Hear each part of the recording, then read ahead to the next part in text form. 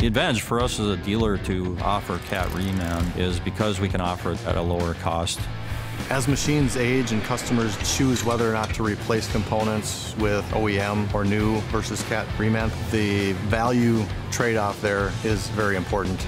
We do a lot of builds on older equipment. Seems like it's more cost effective for us. We can keep production going with the older stuff just as well as the new.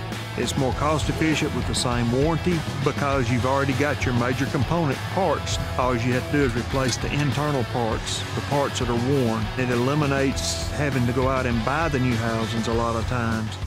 You look in today's world, an engine that costs $50,000 or $60,000, a transmission costs $60,000, $70,000. And when you can offer a major component like that at a fraction, in today's world, it's all about how can you save for next year. Cat reman parts are probably up to half of the cost of new. If I can get a short block as a cat reman component and it's $10,000 compared to a $22,000 new, anybody is going to pick the cat reman part and usually it's more available.